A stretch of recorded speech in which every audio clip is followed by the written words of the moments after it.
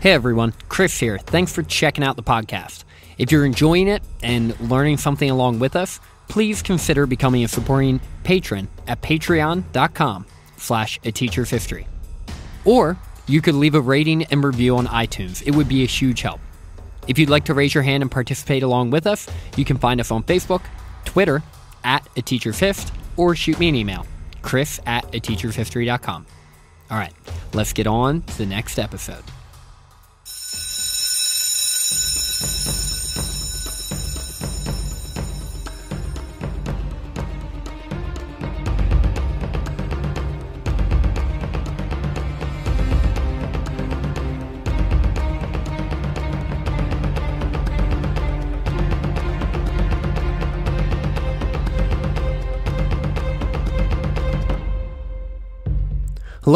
Welcome in to A Teacher's History of the United States. Thanks so much for joining me again today.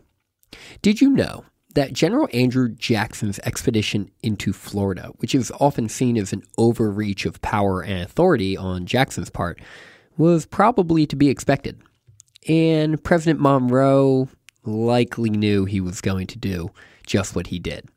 And when he did, Monroe was both excited and proud of Jackson for it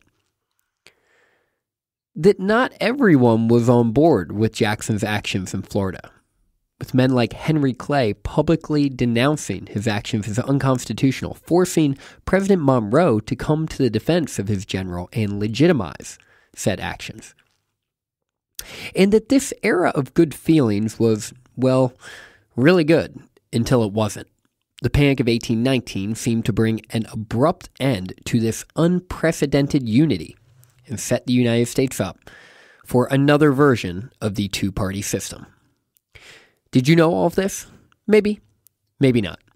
Get your notebooks out because today we will cover that and more in episode 112 Jackson's Expedition to Florida and the Panic of 1819.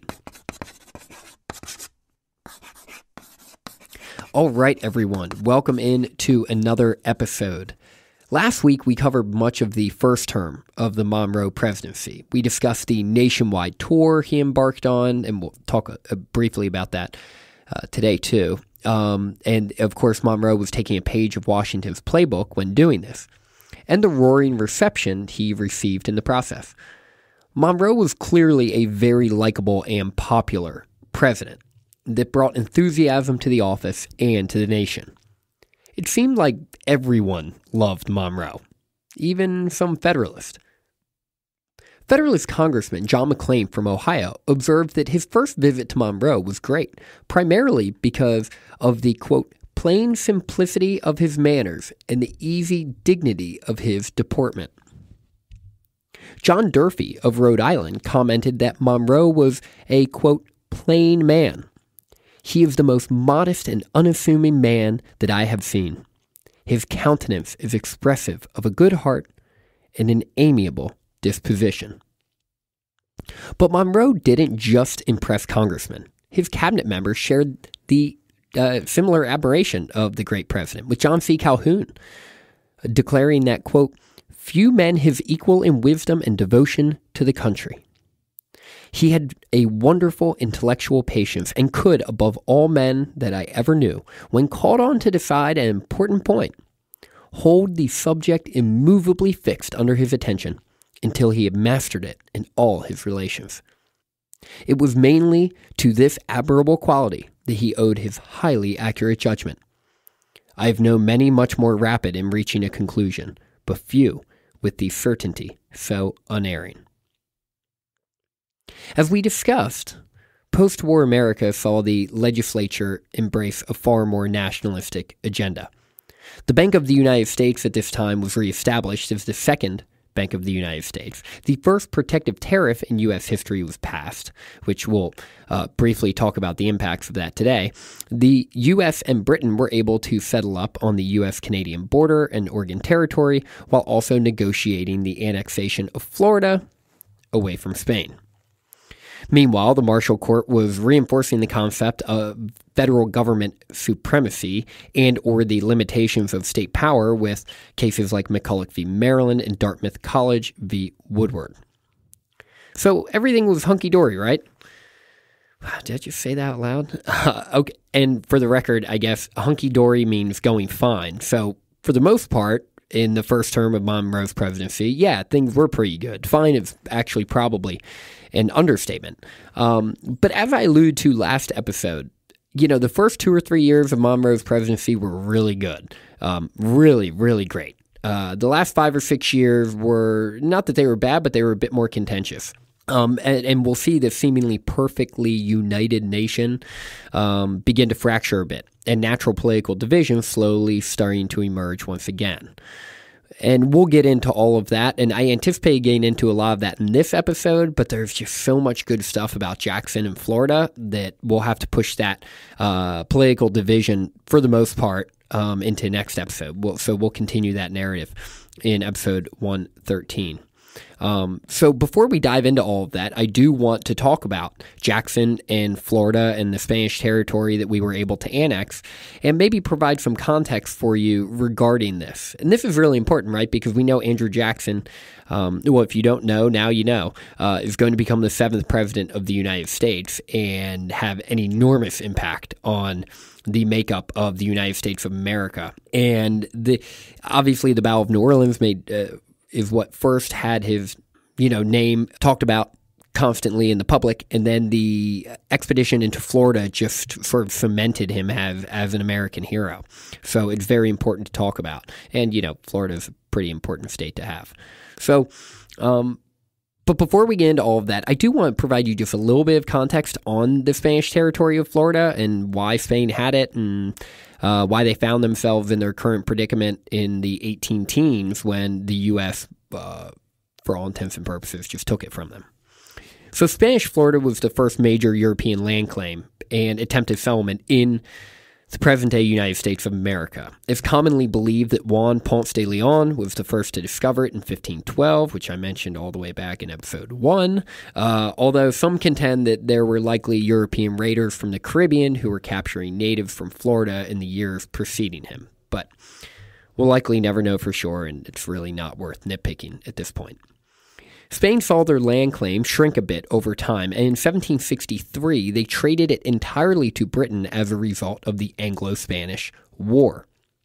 Britain, following this conflict, had a lot of land to govern, you know, typical empire problems. So they decided that it would be easier to control Florida if they split it into two West Florida and East Florida.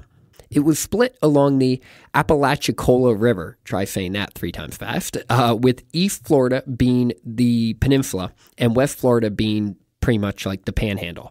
Um, I'll add a map of this division on uh, the Patreon page and the Facebook page uh, when I post this so you can check it out uh, if, if you'd like. For the 20 years that Britain controlled this territory, the boundary moved, the boundary of West Florida moved pretty far north, basically one third of the way into present day Alabama and Mississippi. Spain eventually regained possession of Florida 20 years later in 1783 and kept Florida separated in these two territories, although they shifted the border a little bit. Following the Revolutionary War, there immediately became a conflict between the U.S. and Spain over the Florida territories. Without getting into too many details, in this episode, suffice it to say that in the peace between Britain and the U.S., Britain specified the boundary of the uh, the boundary between the U.S. and Florida at 31 degrees latitude. Whereas in the accompanying treaty between Britain and Spain, there were no such specifications. Naturally, because of the ever moving boundaries and what the Spanish viewed as successful expeditions in the southeast during the war, they were going to try and make a power play and claim as much land as they could possibly try to justify. With this, Spain and the U.S. were at loggerheads over the boundary of Florida, and honestly, they weren't even close to any type of agreement. Heck, Spain was claiming land all the way north to the Ohio and Tennessee rivers.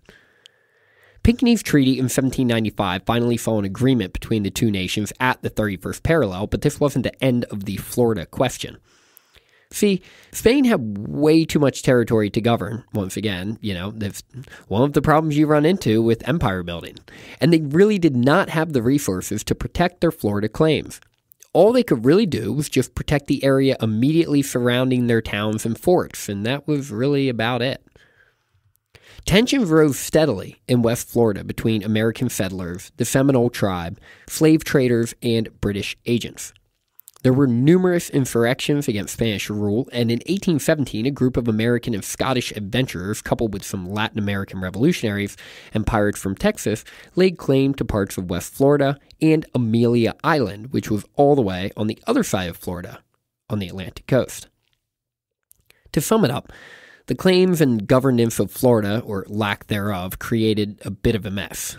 It was so bad that John Quincy Adams once told Spain that the U.S. forces would take control of it temporarily until Spain could get it together, with John Quincy uh, calling the territory, quote, a derelict open to the occupancy of every enemy, civilized or savage, of the United States, and serving no other earthly purpose than as a post of annoyance to them.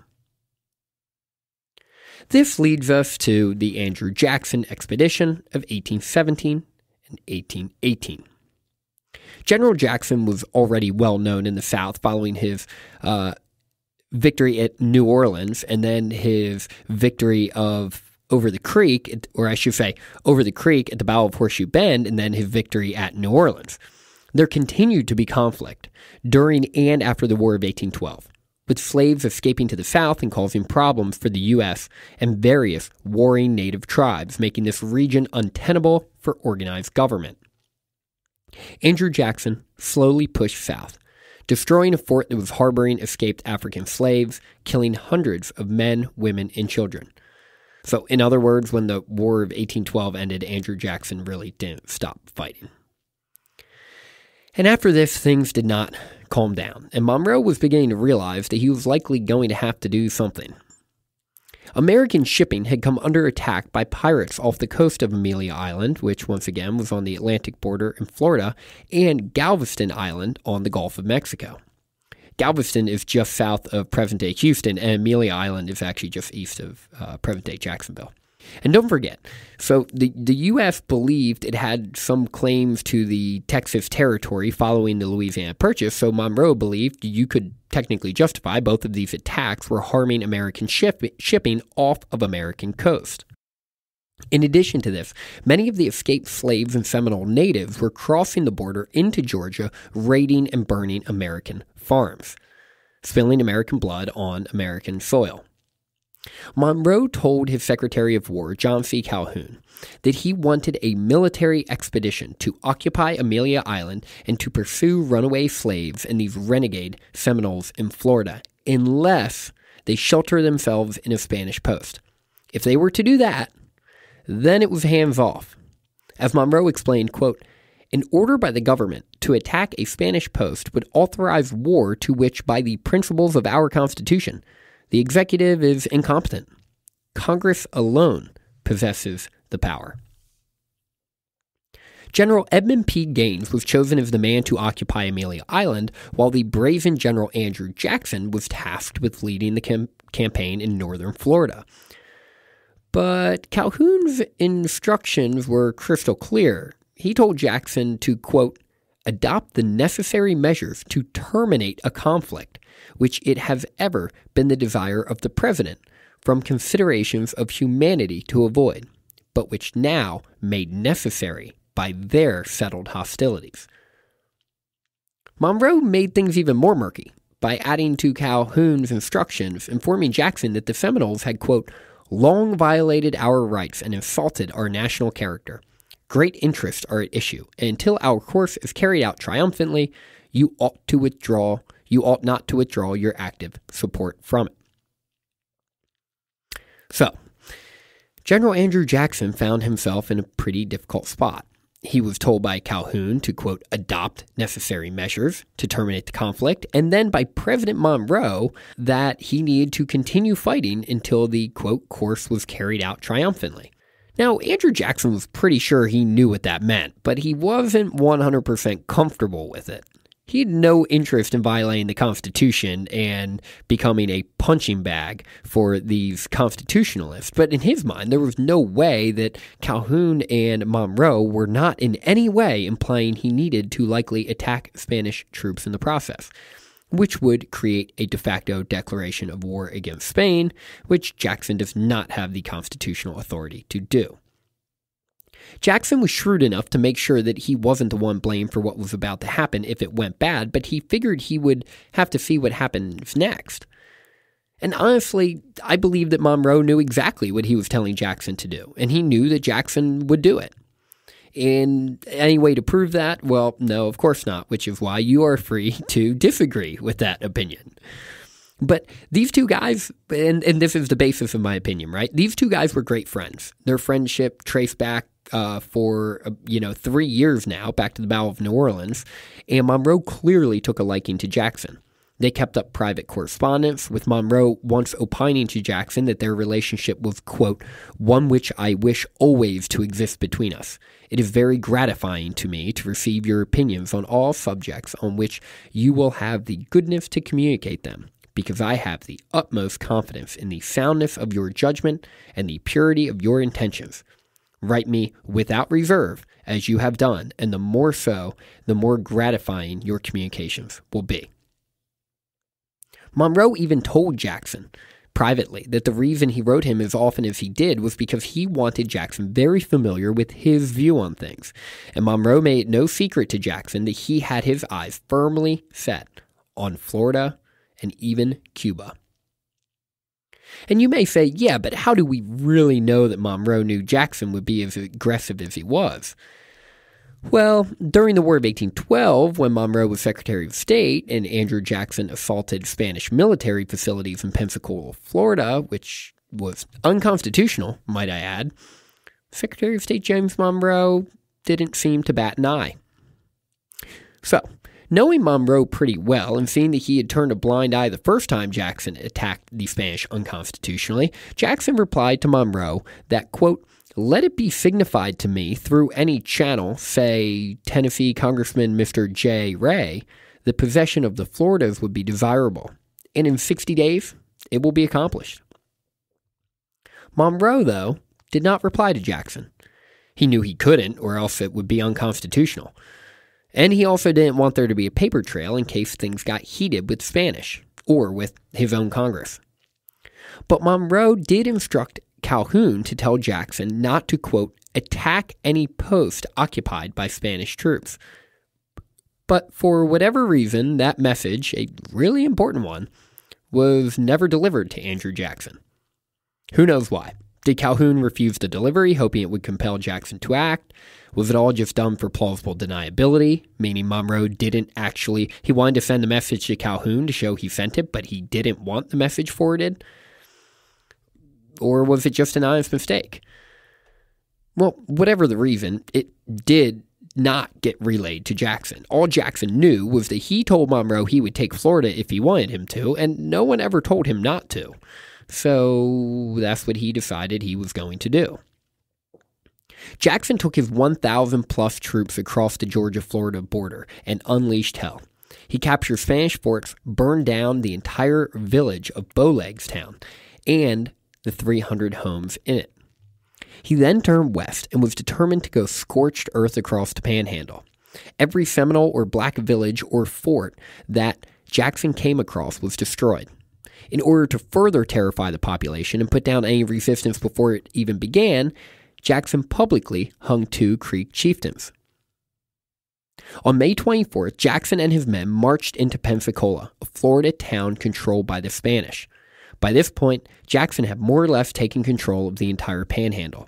While there, he encountered two British citizens, which he accused of aiding the enemy.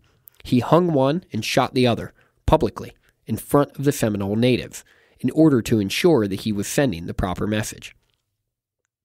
On June 2nd, Jackson wrote to Monroe, reporting his success, proclaiming that he had won the Seminole War, but he was ready to keep going.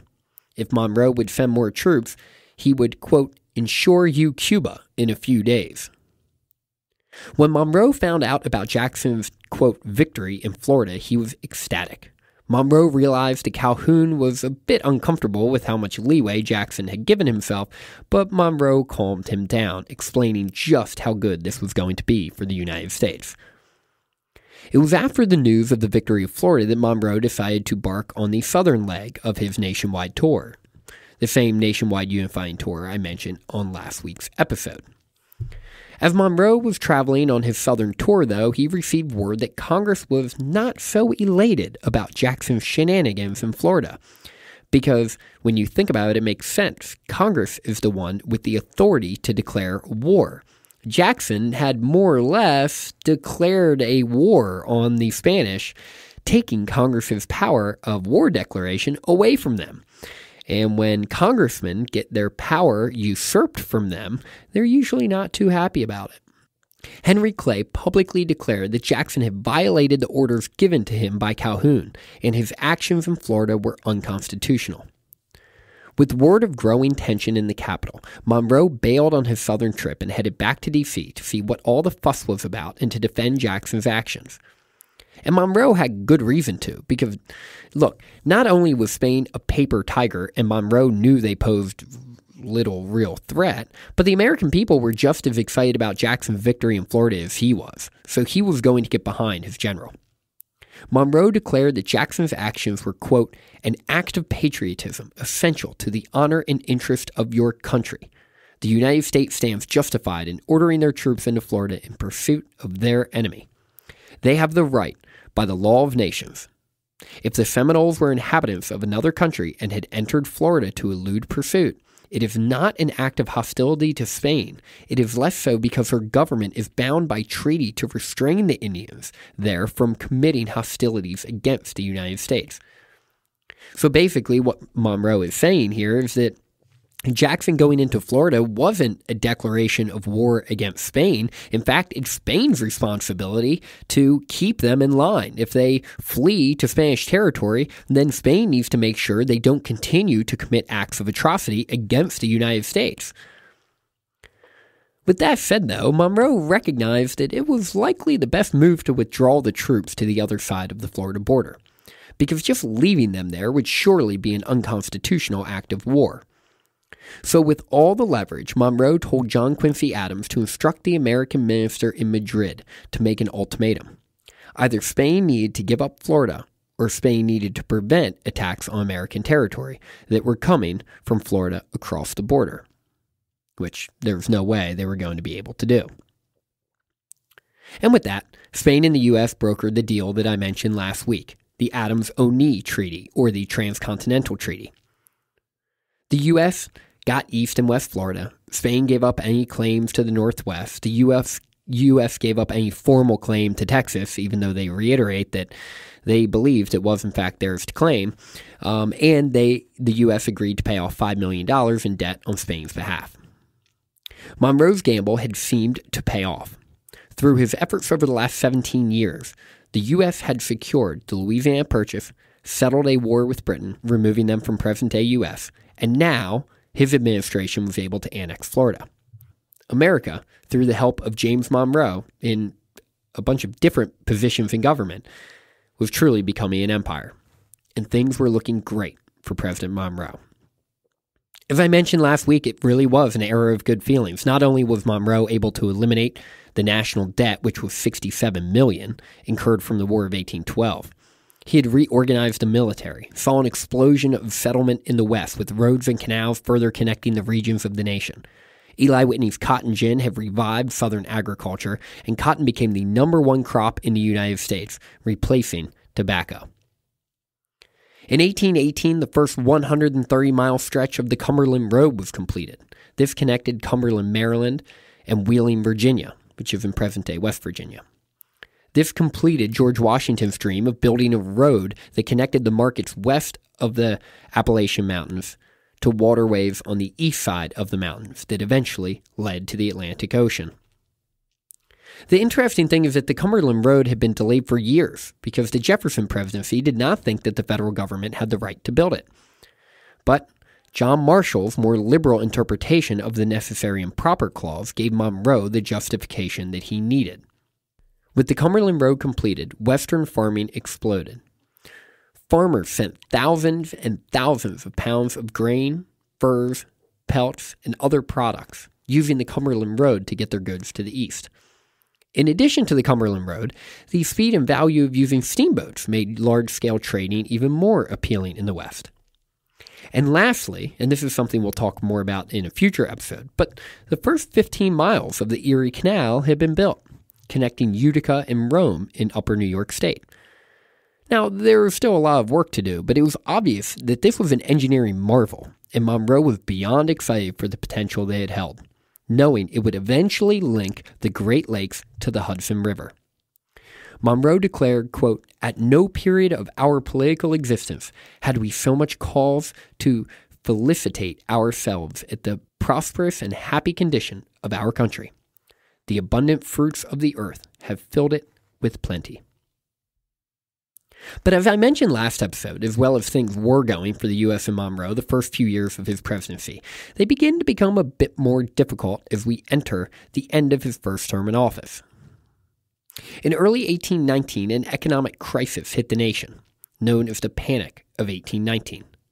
An economic bubble popped and hundreds of banks closed down. And this is how it all happened. Following the War of 1812, European markets were starved for American goods, so farmers and planters expanded their production, snatching up land in the West so they could do so.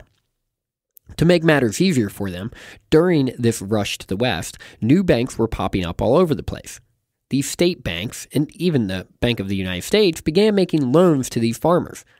The problem was that the banknotes exceeded the amount of capital, or hard coin reserves, that the banks had on hand.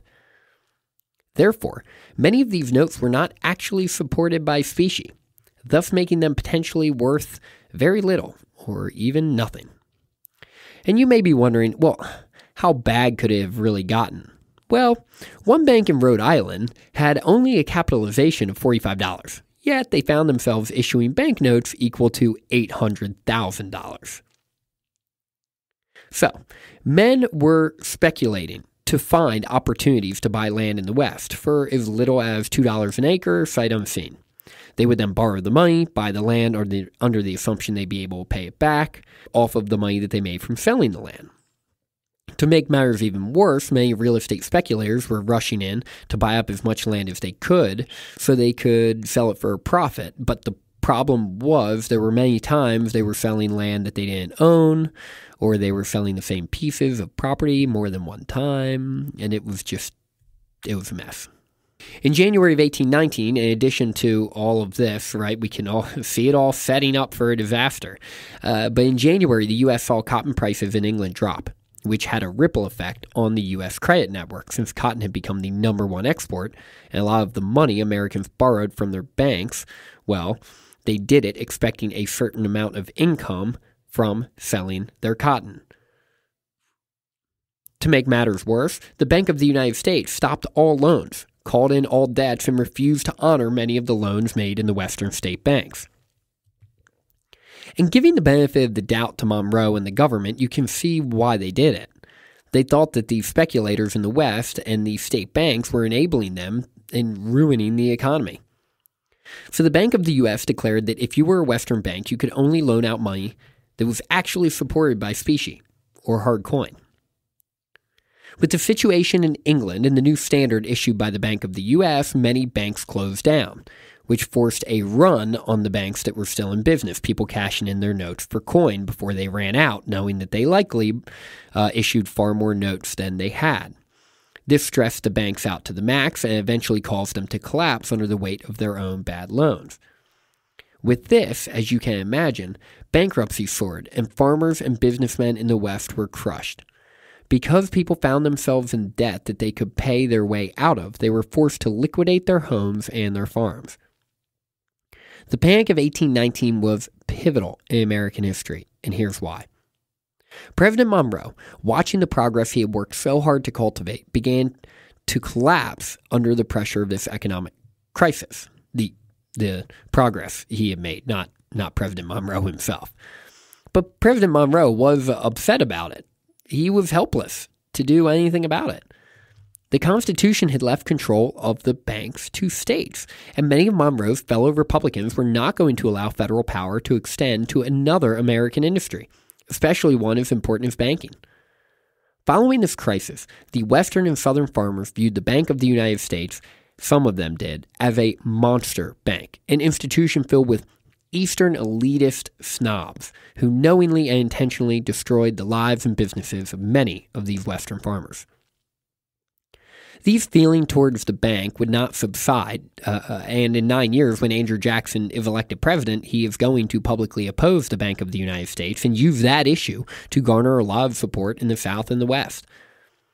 In addition to the avarice and corruption that many thought the national bank represented, the Western farmers also blamed the Tariff of 1816 for their troubles. In their minds, this unfairly raised their cost and was unconstitutional. Because in the minds of the Western farmer, this tariff clearly was a tax passed to make their lives more difficult while supporting Northern manufacturing. It protected the manufacturing in the North while hurting them. How is that fair? Now, uh, to be fair, many economists would argue that the panic of 1819 wasn't really a panic, it was just sort of a brief economic downturn, and that people who were really hurt by it were the ones doing the swindling and the speculating, or the ones who got swindled. For the most part, it was tough for a little while, but the established successful farmers and businessmen ended up just fine. This reality was not going to stop opponents of the increasing federal power to use it as a rallying political issue moving forward. With the tariff of 1816 and the actions of the national bank clearly making life more difficult for some farmers in the West and the South, the era of good feeling was abruptly coming to an end. Many in the South, in response to this panic, will adapt, or more accurately for many, return to a doctrine of states' rights. In the minds of many, the North and the federal government were in cahoots, and they wanted to limit this explosive nationalist trend and focus on protecting the rights that they thought were being trampled on.